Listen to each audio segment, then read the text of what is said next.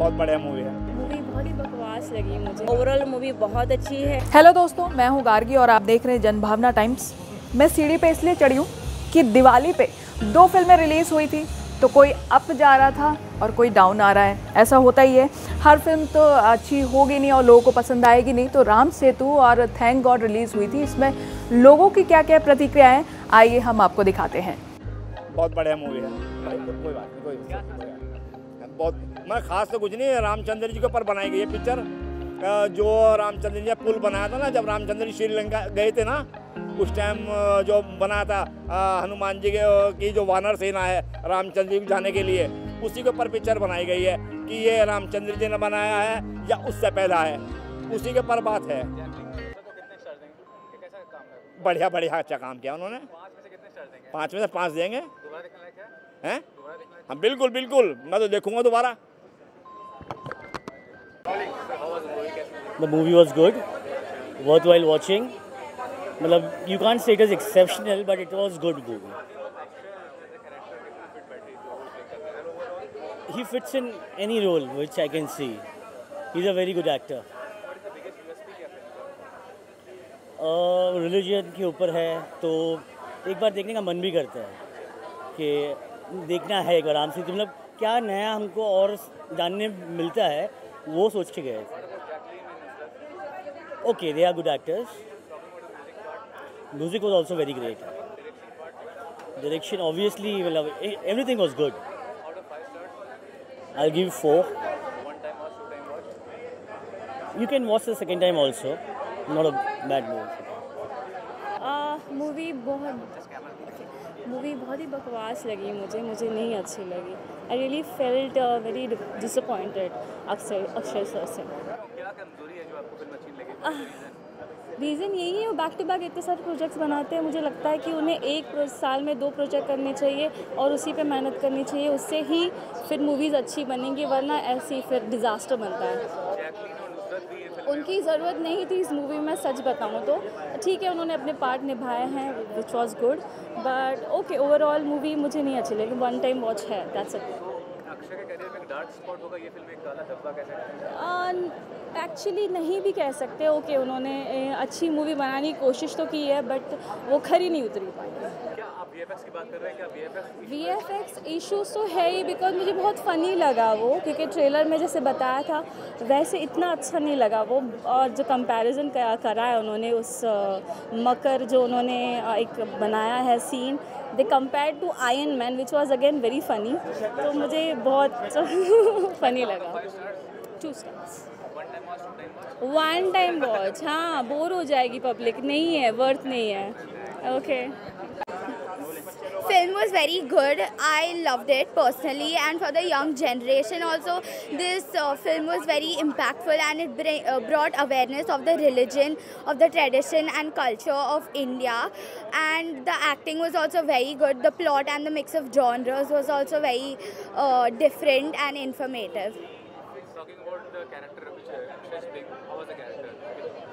of his was very uh, different and he had the power of the movie so he acted also very well.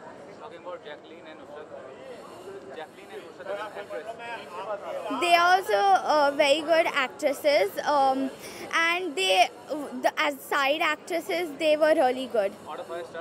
Four overall movie बहुत अच्छी है और जो उनका concept है बहुत अच्छा है और कॉन्सेप्ट से भी ज़्यादा मैं एक चीज़ ये कहूँगी कि उसका जो प्रेजेंटेशन है, वो सबसे बढ़िया है क्योंकि उसको इतना ब्यूटीफुली प्रेजेंट किया है कि दूसरे धर्म के लोगों को इससे कोई आपत्ति नहीं होंगी और नहीं होनी चाहिए, कोई कॉन्ट्रोवर्सी मुद्दा नहीं है। और जो एक चीज़ मुझे इसमें अच्छी नहीं लगी वो ये है कि म्यूज़िक का सही यूज़ नहीं किया गया। क्योंकि एक ये धार्मिक मुद्दा है जो कि हमारे इमोशन से कनेक्ट करता है और म्यूज़िक हमारे इमोशंस को इन्हांस करती है तो म्यूज़िक का सही यूज़ नहीं किया गया। हाँ ओवरऑल एक्टिंग के पर्पस एक्टिंग डायरेक्शन सब कुछ बहुत अच्छा था। सिर्फ़ दो चीज़ें एक म्यूज़िक और दूसरा क्लाइमेक्स क्लाइमेक्स में अपनी बात को वर्बली कन्विंस करने की कोशिश की गई जो कि मुझे थोड़ा कम लगा। थ्री हाँ। हाँ देख सकते हैं लेकिन मैं ओटीटी पे देखूँगी दोबारा। और मत करना यार। भाई कैसी लगी ये फ़िल्म आपको राम सेतु? क्या खास नज़र आया इसमें सबसे पहले सभी को हैप्पी दिवाली और बहुत सी फ़िल्म लगी मुझे Ram Setu. First day first show देखने आया हूँ जैसे कि मैंने अपनी ज़िम्मेदारी को निभाया है। हिंदुस्तान के बाहर राम जी का यानी कि हमारे हिंदुस्तान के भगवान का अस्तित्व लोग नहीं जानते नहीं मानते। तो मैं आपको बता दूँ कि हिंदुस्तान के अंदर में राम का अस्तित्व है और साथ ही साथ राम सेतु का अस्तित्व है। क्योंकि हम अपने कल्चर्स को फॉलो नहीं करते हैं। जैसे दिवाली की बात अगर कही जाए तो दिवाली के दिन राम जी अयोध्या आए थे चलकर। तो उस दिन दिवाली के दिन राम जी को याद किया जाता है और घरों को रोशन किया जाता है कि उस दिन राम जी आए थे। बट कुछ लोग पटाखों में अपनी ज़िंदगी मिठाइयों में निकाल देते हैं। हिंदुस्तान के अंदर में एक ऐसा सच जो राम सेतु है, उसको इस फ़िल्म के अंदर में दिखाया गया है, जो कि इंडिया को रिप्रेजेंट करता है वापस से out of country other countries के अंदर में लोगों को बताता है ये फ़िल्म कि हमारे हिंदुस्तान में राम का अस्तित्व है लंका का अस्तित्व है और साथ ही साथ सीता का अस्तित्व है। इस फ़िल्म के अगर आप फ़िल्म देखेंगे तो फ़िल्म के अंदर जो जर्नी शुरू हुई है राम जी की, राम सेतु की तो फ्लोटिंग जो जो स्टोन होता है वो, और साथ ही साथ हमारे लंकापति, लंका प्लस जो संजीवनी बूटी है, उसके बारे में। ये बताइए, ये जो कॉन्सेप्ट है, कितना ज़्यादा डायरेक्शन पॉइंट ऑफ़ व्यू से देखा जाए तो पर्दे पे बहुत अच्छा सक्सेसफुल हो पाया है क्योंकि अ, सिर्फ़ एक ही माइनस पॉइंट है वो कहानी में म्यूज़िक थोड़ा सा टच ही नहीं था जो लोगों को कनेक्ट नहीं कर पा रहा था। इवन कहानी इतनी टेक्निकल पॉइंट ऑफ़ व्यू थी कि दो घंटे कब बीत गए पता भी नहीं चला मुझे। और साथ ही साथ होगा कि इस फ़िल्म के अंदर में एपी को ज़रूर देखें आप लोग। एपी वो है जो राम के हमेशा साथ होता है और इस फ़िल्म में आपके साथ होगा। जैकलीन और नुसरत काम नुसरत दोनों अलग अलग जगह पे अपने एक्टिंग पॉइंट ऑफ़ व्यू से हैं, पर नुसरत जी का एक कैमियो था। जैकलीन ने काम एक श्रीलंका के हैं वो तो श्रीलंका के होने के साथ साथ जैकलीन इससे कनेक्ट भी हो पाई है अक्षय कुमार जी के साथ, और श्रीलंका की जो जर्नी स्टार्ट होती है, उसमें भी कनेक्ट हो पाई है। उनका काम बहुत अच्छा था स्मूथली वर्क किया है, और वैसे अक्षय सर सीनियर हैं ही, उनको वैसे समझा बुझा के काम करा ही लेते हैं। फोर और टू टाइम वॉच फ़िल्म है ये? हाँ वापस से देख सकते हैं एक बार और टेक्निकल पॉइंट ऑफ़ व्यू से क्योंकि एक था एक समय में थोड़ा सा कहीं ना कहीं मैं कनेक्ट नहीं हो पाया मुझे लगता है वापस से देखिए वापस समझना पड़ेगा। पर बहुत अच्छी फ़िल्म थी। Thank you movie is good I think it could have been better मुझे थोड़ी एवरेज लगी।